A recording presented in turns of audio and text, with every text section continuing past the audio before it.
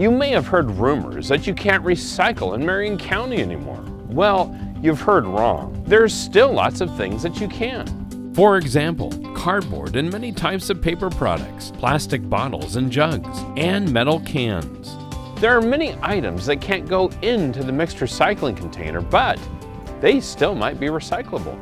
To learn more, go to mcrecycles.net. Let's save jobs and our environment and recycle right.